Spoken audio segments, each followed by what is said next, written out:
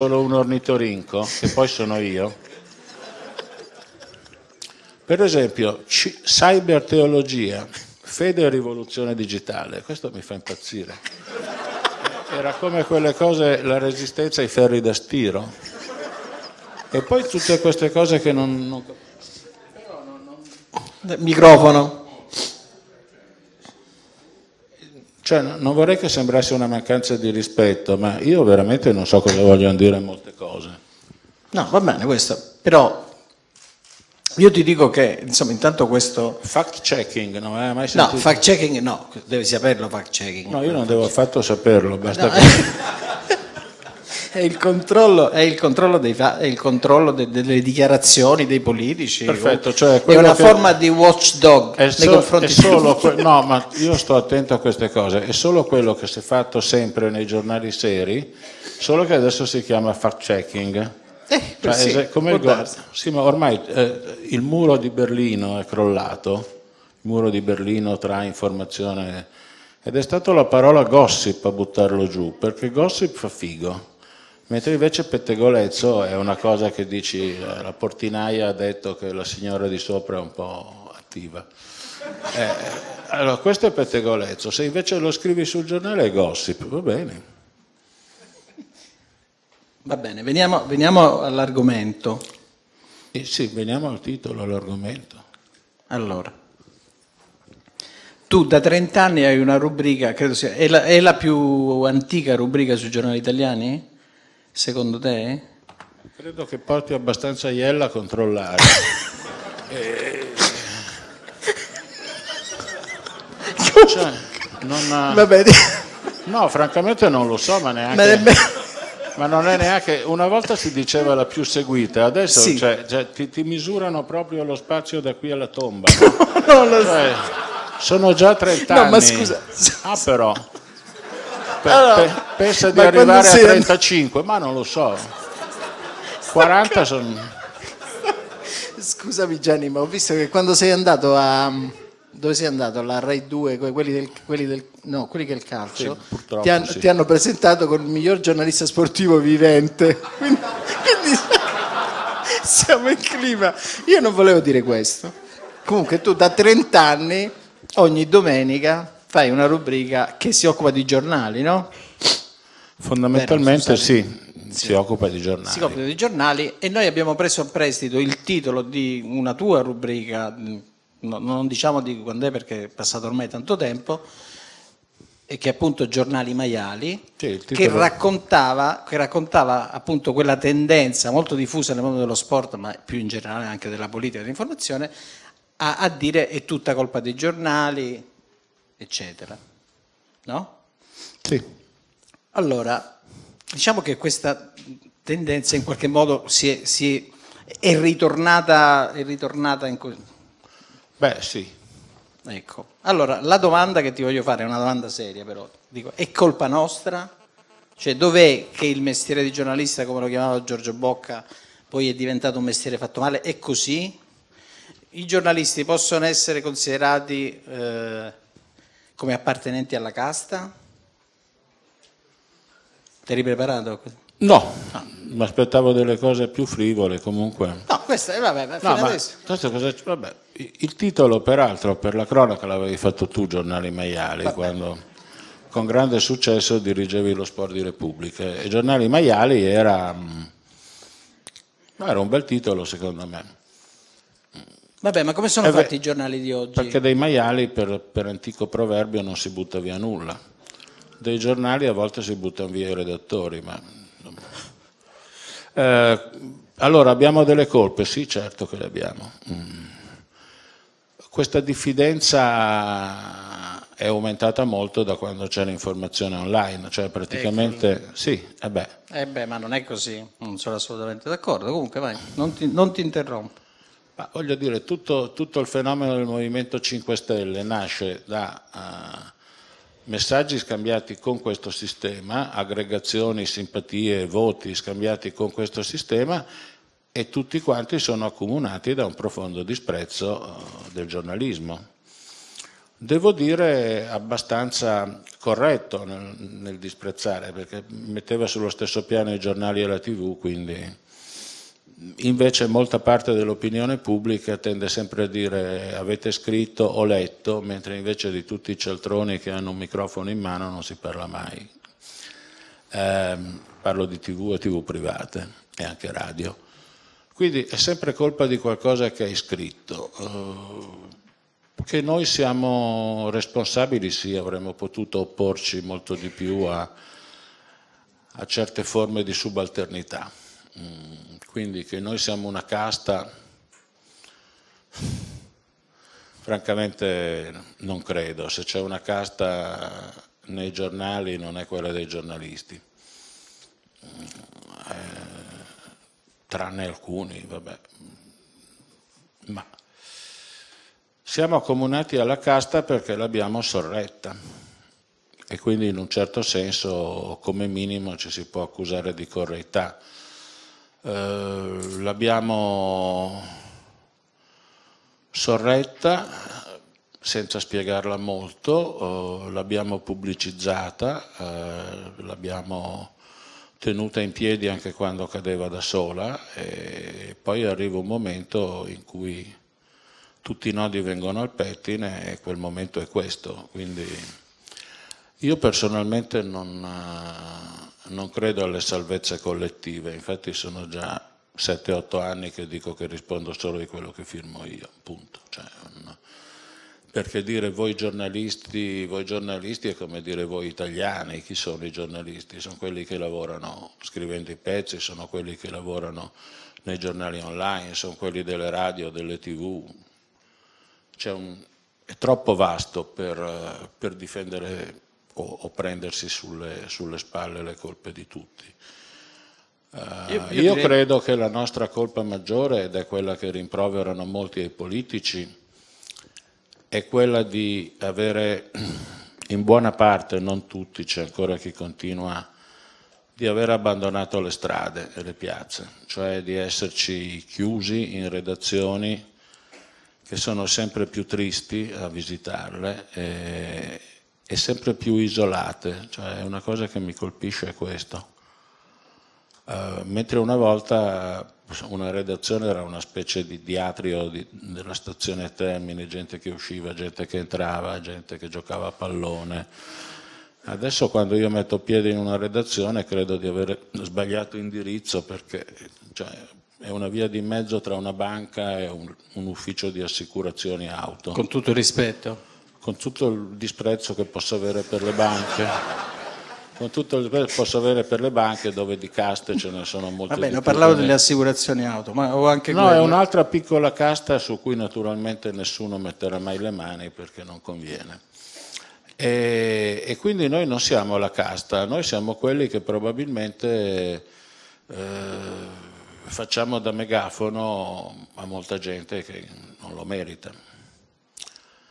E questo è stato fatto indubbiamente negli ultimi anni e questo ci viene rinfacciato. Sai, dopodiché ormai il malcontento è talmente salito che per fortuna non, non c'è più.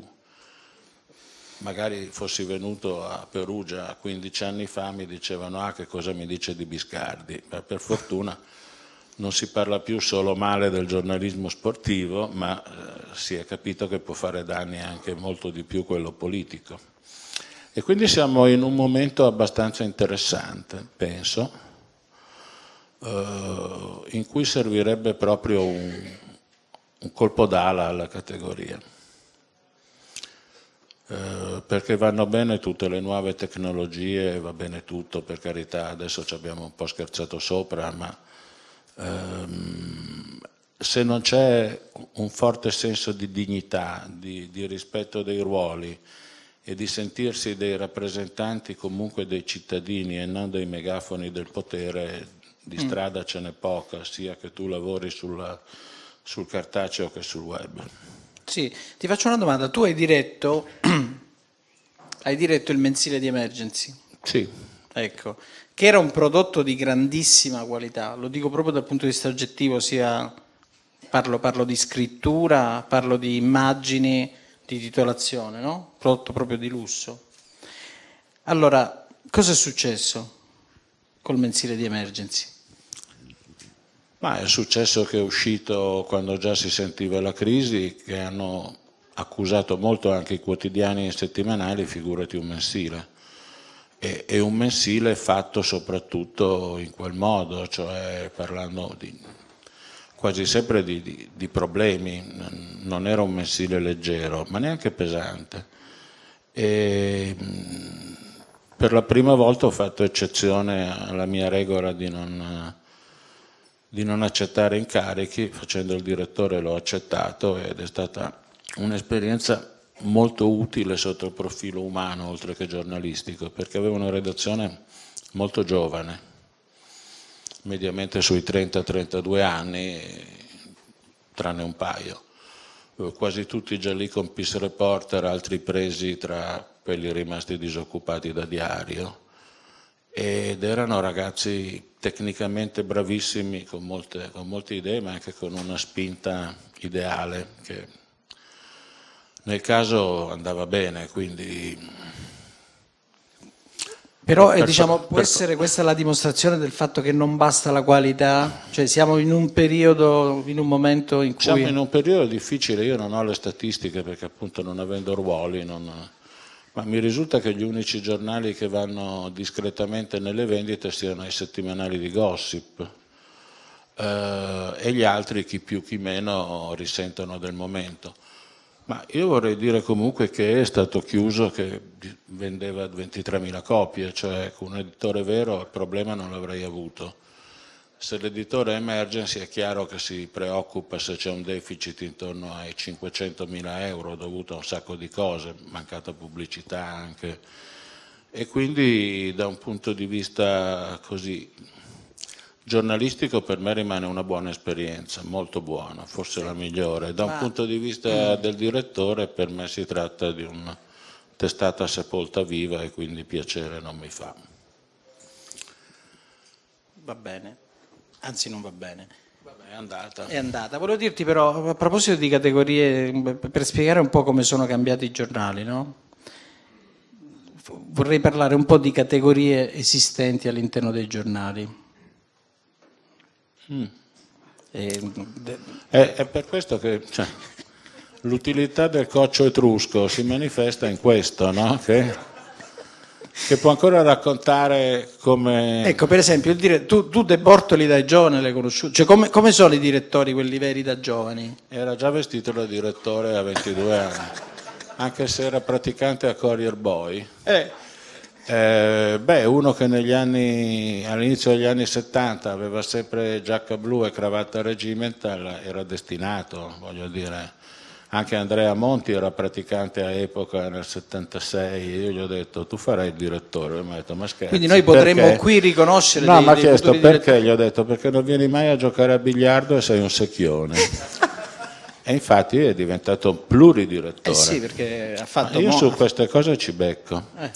I ruoli? Vabbè, ah allora come... Allora, i grafici. I grafici hanno assunto nei, nei giornali di oggi un ruolo... Qua piano con il live tweeting, per favore. Ma non è che hanno assunto un ruolo, hanno assunto un potere. Cioè, finché c'erano dei ruoli nei giornali, le cose funzionavano abbastanza bene. Eh, non che adesso, per carità, io non so nulla del funzionamento, essere pensionati a Milano quando la redazione centrale a Roma è come fare Heidi a Bellinzona, quindi pensa se io so come vanno i grafici a Repubblica. Però so di aver lavorato per molti anni alla Gazzetta dello Sport dove i grafici non c'erano, cioè, a parte il menabò della prima pagina che facevano i capi redattori, io ne avrò fatte centinaia di menabò della pagina del ciclismo con questo non voglio dire che fosse più bella la Gazzetta di allora, né, né mi sogno di discutere. No, dico, uno... dico, dico, solo che quando i grafici avevano meno potere sarà un caso, ma si vendevano più giornali. Um, sì? Sì, sono d'accordo fino a un certo punto perché diciamo, l'avvento dei new media ha fatto sì che il giornale di carta debba essere un prodotto sempre più anche esteticamente Vuoto. No, gradevole. ma, bello, presentabile. Ma non avrai mai, è una lotta impari, cioè quelli che tu chiami new media, io chiamo gli ultracorpi, eh, vinceranno sempre comunque perché hanno delle possibilità di colore, delle possibilità di cambiare in continuazione. Cioè, per me vedere, diciamo anche Repubblica IT, è un pochino come guardare un caleidoscopio, a volte trovo anche delle cose che mi, mi interessano molto. Per esempio? Specialmente i pinguini che scivolano. Ecco, ti ho anche, una, una, tua passione. Ti, ti, ho, ti ho anche telefonato, Beh, no? Sì, Perché... io ero molto orgoglioso, I, i, pinguini che scivolano è il nostro master. Sì, Beh, ci sono, anche no, ma a volte ci sono anche i rettili che si mimetizzano, voglio non dire so. io. Non è, non è, so, quella è una parte. Avevo le figurine Liebig da piccolo con gli animali e mi è rimasta sta cosa. Comunque senti, ma c'è una cosa che tu mi ripeti sempre, ecco, se Leopardi... Sì, se Leopardi avesse fatto l'infinito oggi con uno dei nostri grafici, diceva Gobbo, a Gobbo taglia l'ultima riga che non c'è sta una colonna, il naufragarme dolce, metti un'altra roba.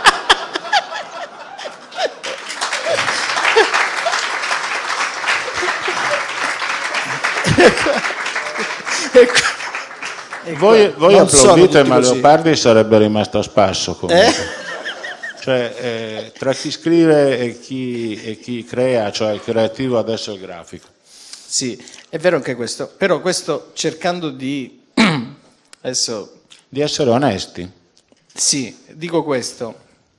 Io ritengo che un giornale debba avere una grandissima ricercatezza grafica perché, perché se no soccombe, no? Perché abbiamo mille modi di fruire dell'informazione. E quello che ti volevo chiedere io però è... Non me lo ricordo più. Vabbè, ti faccio un esempio personale, Vai, proprio sì. perché hai citato il mensile di, di Emergency. Sì. Con una buona grafica direi, cioè non è che io me ne fotto della grafica, anzi la vorrei alleata uh, per proporre anche dei pezzi di 15 o 16 cartelli. Ah, ecco, come, proprio questo volevo come, chiederti, come. Come abbiamo fatto. Esatto. Se la grafica, come molto spesso accade in tutti i giornali, tutti, perché ne, leggo molti ogni giorno, mica solo Repubblica, se la grafica è un mezzo per ingrandire le foto, ingrandire i titoli e togliere spazio ai pezzi, io non posso dire che sono contento, anche perché non faccio il grafico, faccio il giornalista. E quindi... Però i grafici sono giornalisti, tu lo sai, hanno un contratto giornalistico. Sì, non c'è dubbio, però anche i generali e i soldati sono tutti militari. Poi bisogna vedere il, il rapporto di forze, qual è? Secondo me il rapporto di forza è sbilanciato, cioè a parte alcune firme... Ma per esempio tu ricordi, la domanda che volevo farti prima era proprio sul passo lungo dei pezzi, no? E cioè ci sono dei momenti in cui uno va, no? va e scrive, non so, i mondiali dell'80, per esempio a parità tu eri sia eri in Spagna ed eri in Germania quanto è scritto nell'80? A parte Repubblica non usciva il lunedì, però insomma, il lunedì è scritto sicuramente. In che modo è cambiato il tuo pezzo dall'82 alla vittoria mondiale del 2006? È diminuito in proporzione del 30% almeno. Eh, quindi, ma anche la rubrica trentennale è diminuita, nel senso che era 90-95 e adesso è 72-74, parlo di righe. E quindi questo ti crea dei problemi, eh, perché toccando vari argomenti eh, devi anche avere la, la, l'abilità o la fortuna di, di collegarli, di trovare dei nessi, di andare a capo, ma di riprendere il gomitolo con meno spazio a disposizione questo è più difficile, cioè rinunci in partenza a un paio di argomenti perché ti portano via troppo spazio, cioè in parole povere, eh, dal mio punto di vista, nella, il giornalista della carta scritta eh, è un pochino come i, i lavoratori dipendenti in Italia, cioè i sacrifici li deve fare solo lui. Cioè avevi 90 righe, se ti sta bene te ne becchi 60 ed è già tanto che non te ne chiediamo 30. Indipendentemente dall'argomento? Sì, sì, sì. Infatti una cosa che mi colpisce molto nei giornali, penso a volte come di fare io, ma evidentemente non avrò l'opportunità. E spesso ci sono delle notizie a due colonne che io darei a, almeno di apertura di pagina interna e, e, viceversa. Ma questo vale un po' con tutto. A me piacerebbe molto fare un giornale. Zavattini era un giornalista anche lui, con la tessera da giornalista e direttore di giornali. E dirigeva anche Confidenze, cosa non si fa per campare. E il giorno delle nozze di Elisabetta d'Inghilterra, anziché mandare l'inviato, ha pubblicato in prima pagina le nozze di una che si chiamava Elisabetta vicino a Reggio Emilia. E l'hanno licenziato? E ha fatto lo stesso... No, era il direttore. Ah, vabbè, ma possono licenziare anche i direttori però. L'hanno Beh, licenziato o no? no? No, anzi, complimenti di Rizzoli. Cioè, oggi non lo piglierebbero neanche a fare il correttore di bozze Zavattini perché avendo qualche idea sarebbe pericoloso. Senti, invece fotografi e autisti. Ma ci sono Vabbè, tu, stato, sono... tu, sei stato anche un, un, inviato di epoca, che era un grandissimo... Epoca aveva, vabbè, aveva il, il, grande fiore di Bonatti all'occhiello, ma aveva anche una batteria di fotografi con Giorgio Lotti, che è quello che fece poi le foto a Mao, Sergio Del Grande, Mauro Galligani, che era più l'inviato di guerra. E vabbè, mi sono accorto di quanto servono i fotografi. Anche lì i pezzi avevano un passo lungo. Infatti a me interessava proprio scrivere d'altro che di sport e provare il passo lungo e se giri con un fotografo bravo ti accorgi che ti semplifica molto il lavoro, non devi più descrivere in un modo lungo le acque del Po in piena perché tanto c'è una foto a colori e, e allo stesso modo questo può valere per un'Olimpiade, anche quelli li ho fatti con i fotografi. Ma nei giornali secondo me si sta tagliando quello che è indispensabile. Eh, quindi io sento come mi strappassero dei rami dalla corteccia i tagli agli archivi, per esempio. Eh, perché, perché c'è la presunzione sbagliata, che trovi, naturalmente, tutto, che trovi su... tutto su web, invece non è vero. Ma eh, anche loro sono figli, cioè sono vittime sì. Questo, new, questo... new, sono vittime dei new media anche loro, cioè io... No, non sono vittime dei new media, sono vittime degli della valutazione, diverso, vabbè, di una valutazione so, sbagliata. Sono perché... vittima, sì, ma indirettamente loro sono vittime di una eh, idea sbagliata fatta dagli amministratori, ma partendo dai new media.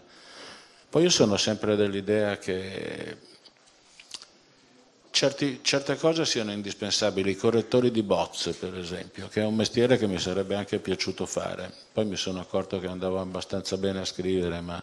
Eh no, corrette a vagoni comunque, eh, quando ancora c'era il piombo.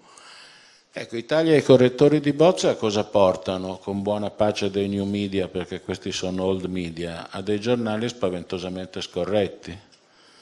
Senti. La Repubblica ci ha messo dieci anni prima di scrivere preta porte con gli accenti giusti. È, sta, eh, è, stata dura, è stata durissima. E non ci eh. riusciamo nemmeno tutte le volte. No, no, da, da, anni preta sì. ne sbagliano debacle, altre. Debacle? Debacle non ne parliamo, mm. ne sbagliano altri, ma preta porte adesso è giusto. Senti, però tu quando stavi a epoca è successo, parlando di grandi fotografi, grandi personaggi, allora è successo un fatto posso dire emblematico, me lo permetti? O... Sì, insomma, c'era sempre, Bonatti. Sempre meglio di iconico, di emblematico. Ah, iconico, Vabbè, anche iconico è carino. Allora, c'era Bonatti lì, no? Tu stavi lì? Beh, Bonatti faceva dei servizi, forse qualcuno poi li ha rivisti perché ne hanno pubblicati quando è morto. Eh, Bonatti faceva da solo, non so, il deserto del Sahara oppure andava a fotografare a due metri i varani di Comodo, la Patagonia a piedi, queste cose qui che poi...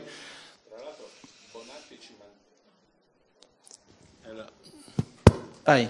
Bonatti ci manteneva un po' tutti perché i servizi li compravano in mezzo mondo a cominciare da Time, quindi Bonatti era così, l'astro. E naturalmente cambia direttore. Cambiano arriva... anche un po' i tempi, credo, no? Cioè, la parola, la parola di moda era bisogna fare un giornale di servizi, che io non ho mai capito che cosa volesse dire, francamente non lo so neanche adesso, a meno che tu non dia tutti gli indirizzi, guardia medica. Delle farmacie, sì. Sì, le farmacie, ma, sì, le farmacie, ma anche i tosacani. Il cinema. A Tosacani. Vabbè, se hai bisogno di un tosacani alle due di notte, cioè, voglio dire, altrimenti Trovi tutto su internet perché ormai. si fa informazione 24 ore su 24? Per dare anche gli indirizzi dei Tosacani, se No, uno vuole per- tosare il cane alle 4 del mattino, non mi pare chiaro, no? Sì, ma a me non importa perché tanto non lo faccio e non sono l'editore, ma eh, capisco che ci sono i fusi orari, c'è gente che lavora all'estero, ma questa voglia di essere collegati e informati 24 ore su 24 io la trovo vagamente compulsiva. Cioè per un secolo la gente è andata a letto più o meno con le galline. Accompagnato? Sì, accompagnata dall'ultimo TG della notte verso le 11, cioè beh, domani vediamo cosa è successo. no? Sì. Adesso secondo te c'è molta gente che alle 3 e un quarto di mattina vuole sapere se Mourinho ha detto qualcosa o a quanto è lo spread? E se sì, di che gente si tratta? No, No. Perché io no, no, no. tu non puoi criticare, non puoi criticare così una no, parte no, importante non era una dei lettori. non era una captazione, no, no, voglio- Eh sì, ma perché- almeno quanti sono, non Repubblica- sto facendo. Dico, il sito di Repubblica ha il 20% dei lettori che si collegano dall'estero, per esempio. Eh, ma sono tutti con il fuso di 12 ore. Vabbè, c'è- c'è tutti i fusi del mondo, tutti i fusi così. Questa è una, è una spiegazione. La seconda spiegazione è che di notte succedano dei fatti, eh, diciamo, nonostante l'Italia, cioè succedono. eh, E sono Sì, fatti che hanno qualcuno- bisogno di aggiornamenti. non- questa tua chiusura, insomma, è abbastanza. Ma la mia chiusura è, me- è meno, è meno dubbia della vostra apertura. Cioè 24 ore su 24, informazione 24 ore su 24, per me equivale all'apertura domenicale dei supermercati o degli ipermercati. Cioè, voglio dire, con la Beh, comodo, banalità degli old meat. Eh? Per qualcuno è Eh, anche che comodo. è comodo perché non lavori al supermercato, perché altrimenti non... Grazie sempre. No, ma in casi del genere bisogna, bisogna vedere, no, io sarei per questo e non perché tutto cada a pioggia e venga yes sir. Cioè, quando io dico chi sono mi esprimo male, quanti sono mi esprimo meglio, cioè se venisse accertato che l'80% degli italiani vuole fare la spesa la domenica, capisco. Ma Più vicino. Ma? Ma io non credo che sia così, oppure fino a dieci anni fa erano chiusi e non ci sono stati casi di suicidio perché non trovavi aperto. Cioè, la- non dico la casalinga Ma di ti Voghera, sei- ma anche il single di Pietra Pertosa faceva la spesa il sabato sapendo che la domenica era chiuso. Senti, Cioè, non è che ci voglia Ma tantissimo. tu non ti servi dai, dai quei, insomma, ci sono soprattutto nelle grandi città quei fruttivendoli aperti anche tutta la notte. Tu non te ne servi mai, Ma non ti manca io vado a l'insalata. comprare una mela alle 4 di mattina? Ma, non è, ma perché devo cambiare la mia vita per dar ragione a te? Cioè, certo, Mi io un vado da un troppo. fruttivendolo, sì, in orari normali, Senti. cioè, come tutti. Però adesso ci siamo un po' per... Ho, ho capito No. che su questo non possiamo trovare un accordo. Volevo Eh, tornare a Bonatti, perché Bonatti diciamo, racconta Vabbè, iconicamente diciamo, una, una trasformazione. Va bene, eh, questa direttrice, di cui non faccio il nome perché è morta, ma comunque rintracciabile. penso- Arriva lei, arriva lei. a- Arriva lei e fissa un appuntamento a Bonatti che ci va e si sente dire prima tante moine, guardi lei ha fatto molto, però nella nostra visione del futuro c'è una cosa di servizi e lui la guardava e a un certo punto gli ha detto che cosa ne direbbe di una palestra di roccia con uno sconto per i lettori di epoca.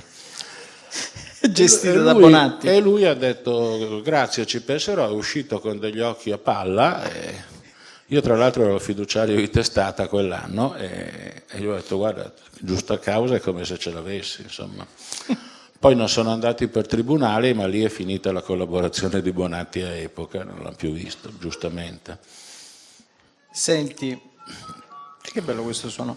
Ehm, I compagni, allora tu fai quello, quello che farai quest'anno sarà il tuo Tour de France numero Boh, non lo so. No, ma non è, non, voglio, non è, il discorso di prima, da quanti anni? No, no, credo 27 o 28. 28. Allora, quanto è importante l'autista, la persona che, che sta con te, che viaggia con te, e quanto è importante avere dei compagni di viaggio L'autista è l'unico compagno di viaggio e quindi è no, tutto. Mi risulta che tu abbia fatto dei tour con dei colleghi che a un certo punto sono stati scaricati senza fare nomi. Ah no, io ero stato... No, vabbè, quando, quando, ho rotto con l'equipaggio maltese. Sì. No, ma non... non era quello? No, non abbiamo fatto nomi, cioè non, non, è il ma caso. Io li faccio poi... sempre, credo che sia una cosa che la gente apprezza. Sì, ma qual è, come, come, si viaggia in un tour? Io... Senza maltese benissimo. Eh, sulla stessa macchina di Maltese molto male, infatti dopo sette giorni sono andato su quella di Barigelli e Pontani, ma questo lo sai. Sì, ma per quale... quale... Io non capisco perché mi fai certe domande. No, ma non per... Cioè siamo qui a parlare dei giornali maiali, mica degli autisti. No, perché diciamo per la riuscita, al di là del fatto che tu, la persona che ha viaggiato per un sacco di tempo con te, hai, a lui Carletto, hai dedicato, certo, hai dedicato perché... un libro, è un protagonista, è una persona sì, che è dentro certo. il tuo primo romanzo, no? Sì, Quindi eh... insomma parliamo di ruoli che magari all'esterno possono sembrare Ma è fondamentale perché stai praticamente 18 ore al giorno tra la macchina, la sala stampa, la cena, il caffè del mattino stai 18 ore al giorno con una persona che deve essere molto, molto affiatata con te e tu con lui, altrimenti non, non, è sopportabile, è un pochino come stare in barca. Eh, lì ho meno esperienze perché non, non mi muovo bene sulle barche. E, e, quindi Carlo Pierelli era il compagno ideale per fare queste cose, ma io ho bisogno comunque di, se non di avere qualcuno, di avere una consonanza umana con quello di cui mi sto occupando, che può anche essere... È per questo per esempio che io non capisco certe cose, perché come tu sai nella, nella redazione vecchia noi avevamo il calcio balilla, io nel cassetto avevo le carte da poker, da scopa, i dadi, cioè quando c'era, non allo sport, a Milano, eh, Milano, sì, sì. Milano è una redazione allegra e un giorno di fianco a me c'era Ravelli e volevo fare una partita dadi, gli ho detto, facciamo... dice no, sto giocando a scacchi. Ah sì, gli ho detto, con chi? Con uno di Baltimora. E io sono uscito, sai, come se avessi aperto una porta. E... Diciamo che i giornali nascono anche dalla... No, eh, mi, mi chiedo perché è interessante un dibattito sulla, sulla, tecnologia, perché per certi versi credo che avvicini, è innegabile. E per altri però mi pare che sia un moltiplicatore di solitudini. E devo capire da cosa dipenda se è questo o è quello, probabilmente da chi la usa, come tutti. Sì, dall'uso, dall'abuso che se ne fa. C'è da dire che la tecnologia ti fa lavorare senz'altro più comodamente di prima. Beh, non lo so francamente. Beh sì, Insomma, allora parliamo di Brera, quando Brera andava al tour faceva 30 cartelle e, e c'era uno che le dettava e un altro che le scriveva. I giornali vendevano molto più di adesso, anche senza grafici e senza nuova tecnologia e io personalmente non dico che quella sia l'età dell'oro. No, assolutamente, però è ecco, anche dico vero... semplicemente che qui non è tutto oro. No, qui non è tutto oro, però non si può non ci si può chiudere secondo me, bisogna misurarsi con questi nuovi modi di fare giornalismo e poi resta comunque il lato tecnico che no, tu oggi mi... premi un tasto e hai mandato il tuo articolo al giornale. Ma io non, non ho nessuna intenzione di misurarmi. Ah no, tu ti misuri oggettivamente. Allora, no, vabbè. non mi misuro, nel senso che Ma tu sei avessi, ancora l'unico. Tu sei ancora se io avessi vent'anni sarei obbligato a imparare tutte queste cose e anche se ne avessi 30 Avendone 68 posso benissimo farne a meno, come di fatto accade, cioè io no. i pezzi li scrivo e li detto dal tour. Ecco, tu, che succede al tour quando ti sentono con la lettera 32? Sì, lettera 32. Eh. Eh, c'è allora sempre... c'è questa sala stampa? Sì, con 800 giornalisti di cui 799 lavorano a computer e io li, li, sento dalla nuca, c'è sempre una troupe giapponese che fa pezzo di colore con me, ormai sono rassegnato.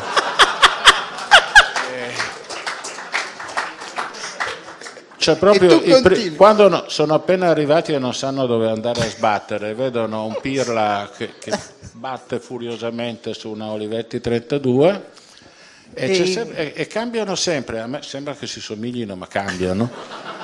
E, e, c'è sempre una ragazza che chiede: Ma lei non ha paura di dar fastidio con tutto questo rumore? E io le rispondo: No, cara, sono, sono loro che mi danno fastidio con il loro grande silenzio. Lei va via. Lei va via e io aspetto l'anno prossimo cioè per, col Giappone abbiamo dato. Però io voglio dire, è una forma, non voglio medaglie né niente, ma non è, è un attaccamento eh, artigianale a una forma di mestiere che ho imparato così, capisci? Sì. E quindi, eh, ripeto, è un lavoro artigianale. Adesso dove ci sono... trovi i ricambi? I ricambi ah, beh, ma con, c'è un paio di spacciatori... Cioè, quelle cartolerie ancora vecchie con la tipografia no, i nastri sia rossi e neri che solo neri. Peraltro ne ho comprati 30 perché non si sa mai se chiudessero, io li ho, eh, quindi si trovano, si trovano. E che farla pulire eccetera costa quasi più che comprarne una. Ma dove la fai pulire? Esiste il Ci sono tre di... negozi specializzati, ci sono ancora delle vecchie Remington una nella zona di San Siro, sì. Potete fare un servizio su Repubblica IT. Sotto i pinguini però. Mamma ho perso l'aereo. O mamma guarda cosa sono diventata. No, dicevo, non, il mio non è dispregio delle no, no, è, è, diffidenza, voglio dire, è diffidenza perché appunto è, è la stessa che può avere eh, che ne so, ripeto, il pastore errante dell'Asia quando guarda in su e vede un aereo e lui continua ad andare a piedi con le pecore. Senti, e io questo faccio. Senti Gianni, tu sei... no, non si sente più mi pare, comunque si sente. Allora, tu sei, lo posso dire io, uno, uno dei giornalisti più veloci che abbia mai conosciuto. Perché devo competere con, i, con le new... Con allora. Vabbè, non lo dico per quello allora, tu scrivi senza rileggere detti, giusto? Sì. È così. E quindi per questo nei giornali, eh, eh, in qualche modo, al, al di là per la, per la tua firma, la, la, tua velocità in qualche modo compensa la mancata velocità del fatto che tu scrivi con la macchina da scrivere. Non so se mi sono spiegato. La mancata velocità di trasmissione. Mancata, vabbè, quella lì, quella roba no, là. Io parlo, tempi, no, io parlo di tempi totali, da quando tu ma allora penso... io devo rispettare i tempi totali di uno che ha gli strumenti nuovi, esatto, ah, altrimenti esatto. non L'hai mi toll... detto in italiano, io non riuscivo a dirlo. No, non, al, altrimenti non sarei sopportato nemmeno da Repubblica se ci mettessi il doppio. Sì. Allora, quello che ti dico io da parte mia è che nel, cioè nel pro, il profilo ideale di un giornalista giovane di oggi, diciamo che ha 25 anni oggi, la velocità è una qualità importante soprattutto se deve lavorare sul web, per me la velocità vale quanto la bella scrittura, no? Allora, vabbè, per tu, me no. Ecco, volevo, volevo, fare un discorso con te sulla velocità, al di là del fatto che tu sei oggettivamente veloce, però tu sei uh, un fuoriclasse, vabbè. Per te la velocità è una qualità giornalistica oppure no? Sì, ma non la prima. Cioè, eh, secondo me prima ne vengono altre due o tre e poi Vai. se sei veloce è meglio. Quali sono? Ma secondo me vengono prima la padronanza della lingua e della materia di cui scrivi, che poi può essere politica estera o ciclismo, no? devi saperne comunque. Eh, e la terza eh, deve essere la sensibilità quale che sia l'argomento, e la quarta la correttezza o l'onestà professionale o il rispetto della deontologia. Dopodiché se tu sei più veloce e rispetti queste quattro ho tanto di cappello. La, la, mia paura è che la velocità sia diventata il primo requisito, ma allora cioè siamo alla pistola più veloce del West nel saloon, non è, non, non è più solo giornalismo, è un giornalismo basato su dei tempi da, da 200 metri. E, e anche per quello che mi preoccupa, perché secondo me oggi il vero problema dei giornali, credo anche tuo come, come responsabile di IT, è che di notizie non è che ne arrivano poche, ne arrivano troppe. E quindi c'è da fare, cosa che una volta si faceva molto meno, un grande lavoro di, A, di valutazione veloce della notizia, cioè di peso specifico, B di collocazione, non posso dire in pagina, ma in pratica Sì, lo è, c'è un menabò di di gerarchia gerarchia della, della notizia, notizia, e, di, e di valorizzazione. Ce ne sono, ce ne sono troppe. Allora, eh, io ho sempre visto questo mestiere partire da pause di riflessione, non dico che durano anni e ore, ma che comunque un pochino si pensi prima di scrivere. La mia paura è che adesso è pronti via, vrum. Uno arriva a Repubblica IT a dare la notizia 42 secondi prima del Corriere ed è un genio. Invece è solo molto veloce.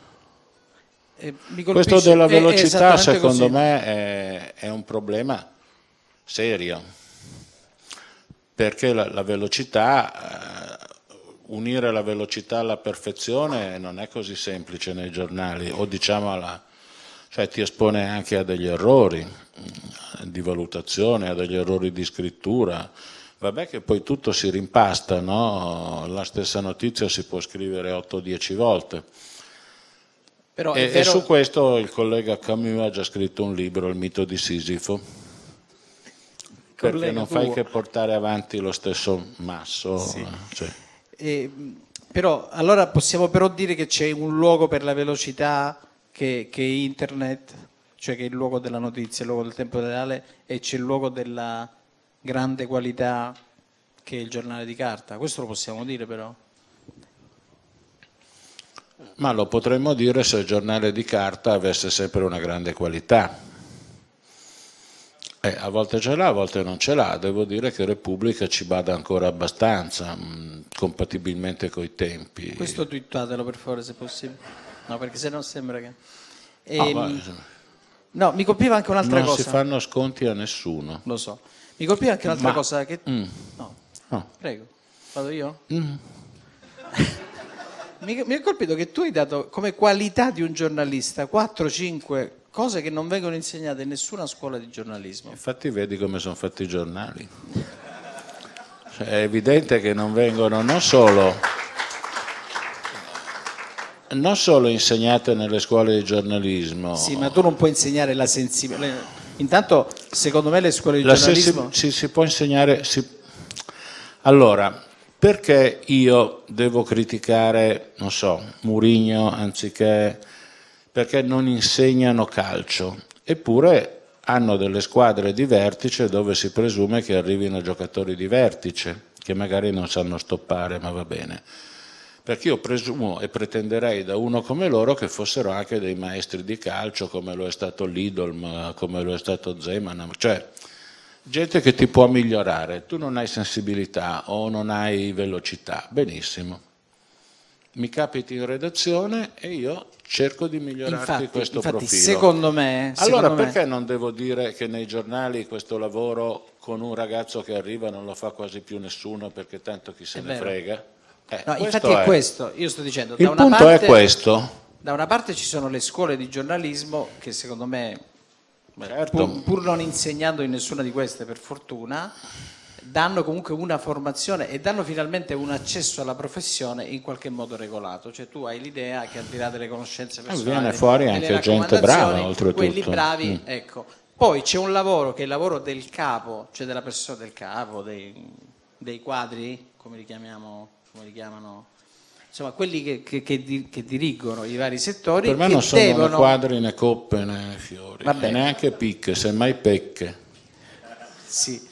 Questo te lo aspettavi. No, non me l'aspettavo, Mm. Eh beh, mm, ho perso il filo. Volevo dire che quelle qualità di cui parlavi tu, Mm. quelle sono qualità che si insegnano e si imparano all'interno della redazione. Al di là del fatto che la sensibilità o la curiosità è una qualità che tu hai pure a 12 anni, pure a 15 anni e forse Sì, sei un giornalista però- per quello. Puoi averla a 15 anni, però la devi applicare a un giornale, cioè, eh, quindi non è la sensibilità per dire guarda c'è un gattino che piange lo porto a casa, certo va bene anche quello. devi applicare a quello di cui stai scrivendo. Però quello che mi, uh, che mi lascia molto perplesso nei giornali, non da oggi, ma da almeno, da almeno 30 anni, è che non vedo più quelli che insegnano. E quindi una volta non c'erano le scuole, cioè capitavi, capitavi, in una redazione. Tu come sei capitato alla Gazzetta? Se, devo averlo già detto, ma non ci crede nessuno comunque. Vabbè, Io sono arrivato perché ero bravo in italiano al liceo Manzoni di Milano e la Gazzetta dello Sport, non la fiera letteraria, aveva un accordo con sto liceo, mh, non tutti gli anni, ma insomma si faceva segnalare i due più bravi in, in italiano Neanche veloci forse no? No, ah, no. allora non no. serviva, figurati sì. Mi ricordo... Oggi forse magari. Poi ne racconto una buona visto la velocità, comunque quando la... vi ricordate Olimpiadi 72, Fedain, attacco Monaco, alle palazzine? Monaco, sì e il limite della gazzetta era le dieci e mezza per la chiusura e la cosa non si era ancora risolta. Il direttore ha detto ragazzi mi sono rotto il cazzo, tutti salvi, nove colonne e siamo andati in pizzeria. Li hanno sterminati tutti.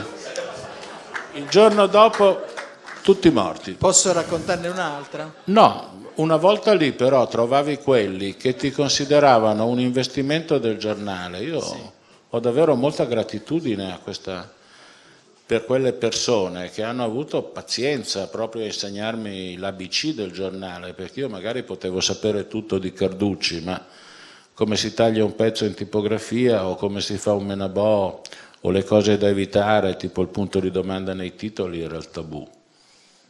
Che un giornale ma da come risposte... si taglia un pezzo in tipografia? Partendo dal basso, conti 20 righe e tagli, no? Sì, normalmente quelli grossolani tagliavano l'ultimo periodo. Senza manco leggere. Infatti mi hanno detto, questo non, la prima volta che facevo, detto, questo non è un tema, che tu fai il bell'attacco e la bella coda che ti fa... La coda nove volte su dieci te la tagliamo, va bene. Allora ho detto, bell'attacco sì, sì, bell'attacco sì, va bene però con la notizia dentro. E devi fare due code, una al penultimo capoverso e una all'ultimo. In genere si fregano così. No, vabbè, ma si interlineava anche. Comunque, voglio dire, c'era gente che ti insegnava tutto questo. Che è l'interlinea, scusa, non lo so. E quando, quando, quando il pezzo è corto. Ah, spazi. Sì, spazi. Scusa, si chiamavano interlinea. È una terminologia un po' interlinea, non, sì, non lo conosco. mi rendo conto, certo. è per questo che mandano in giro gli etruschi.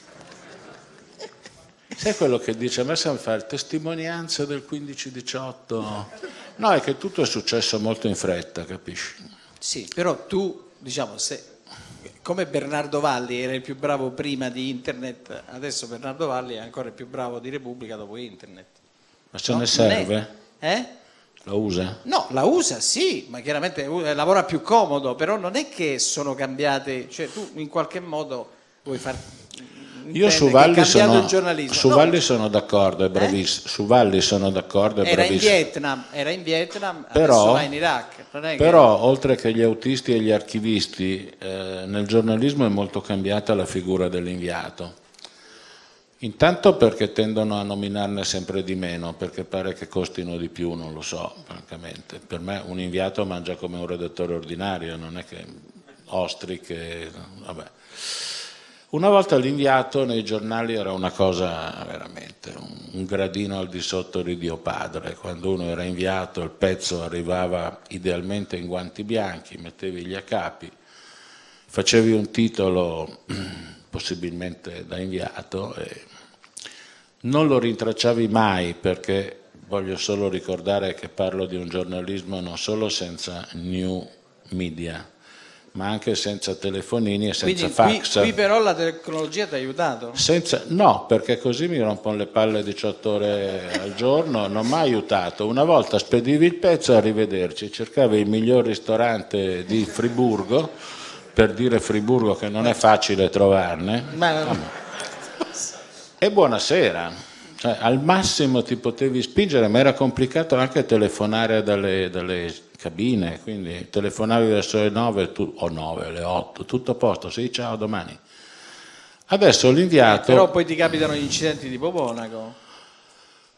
Lì l'incidente però non è capitato all'inviato, è capitato, è capitato No, perché ricordo un altro episodio di Monaco Allora, eh, è il famoso episodio Brera-Bocca. Per cui si sono, sono andati un po' in aceto. Sì, ma lì Diciamo- non è che avesse torto Brera. No, lì se, se- se vuoi raccontarlo... Ah, era giornata di riposo Alle cui- Olimpiadi. alle Olimpiadi, per cui Bocca era andato in gita con, con Silvia Giacomoni, eh, Sua futura sua moglie. o sua futura moglie sul lago di non so Costanza o dove e nel frattempo eh, c'era stata appunto spari, assalto alla palazzina degli atleti israeliani, morti, polizia. Quando Bocca viene a saperlo mentre sta cenando sulle rive e torna rapidamente a Monaco, trova che tutti i, come dire, i, i servizi sono già stati distribuiti da Brera a fossati, a signori, a chi c'era, per cui lo accusa di averlo scavalcato. In verità quella volta lì può darsi che lo abbia fatto volentieri, ma lui non era Ma reperibile. è vero che Brera lo accoglie in accappatoio con il sigaro perché aveva già scritto tutto? No, questo non l'ho mai lo racconta. Bocca, lo racconta a Bocca in un libro. Bene. Ma io penso che poi alla fine noi possiamo dire che i bravi restano bravi. No, i bravi possono diventare schiavi. Stavo finendo il discorso dell'inviato. Ah, Mm. scusa, scusa, scusa. Allora, già ne fanno pochissimi perché non conviene. Ma forse perché ne hanno fatti troppi prima? Forse, certo ma punto? questi non sono affari miei, quindi non, non lo so se ne hanno fatti, può darsi. Adesso l'inviato, che prima era quasi Dio, è un povero disgraziato a cui continuano in- a telefonare in continuazione, oh c'è una France Press che dice sta cosa, e tu dici vabbè, c'è, abbiamo sentito su Sky che, e vabbè, eh, alla terza volta dice vabbè andateci, c'è una, no un'agi no, Eh, tutte queste robe qui, cioè l'inviato praticamente è una specie di collettore di tutto quello che vedono e passano i, i redattori, quindi è molto condizionato. A volte gli infilano delle frasi senza neanche avvisarlo, un'altra brutta cosa delle... Una volta a epoca abbiamo scioperato perché erano state tagliate cinque righe senza avvertirlo a un corrispondente. Scioperato? Sì, sì, e su queste cose, Direi Eh, che una volta oggi sì. non potrebbe succedere. ma è anche per quello che, è anche per quello che abbiamo perso un po' di, di carisma, perché abbiamo perso di vista anche i nostri diritti, non solo i nostri doveri. E quindi è una... Cioè, mi sembra abbastanza una professione oggi in mezzo al guado, io non sono pessimista, No, anche perché di se giornalismo... fosse in mezzo al guano sarebbe peggio, chiaramente. Per ora invece è una cosa così, sta, sta cambiando pelle, può essere qualcosa, può essere qualcos'altro. Ma anche perché siamo sicuri che di giornalismo ci sarà sempre bisogno, no? Non è che possiamo fare a meno dei giornali e dei giornalisti. Ci sarà sempre più bisogno di buon giornalismo Bene. e non di cose spacciate per giornalismo. Io sospetto anche questo, che chiunque scrive un blog è convinto di essere un giornalista. Ma questa è semmai una sua convinzione personale, però È un sospetto. è un, è un giudizio che dà il pubblico. Abbiamo passato una vita a cercare di evitare di essere tuttologi e siamo circondati, grazie alle vostre cose. No, non è, non è così. Comunque io ti ringrazio Gianni, volevo dire a proposito dei giornalisti e dei diritti dei giornalisti che c'è una raccolta di firme, un'iniziativa di- per la libertà di informazione a livello europeo che si può firmare all'ingresso dell'hotel. Ringrazio Gianni, Andiamo abbiamo firmarla. finito. Grazie a tutti.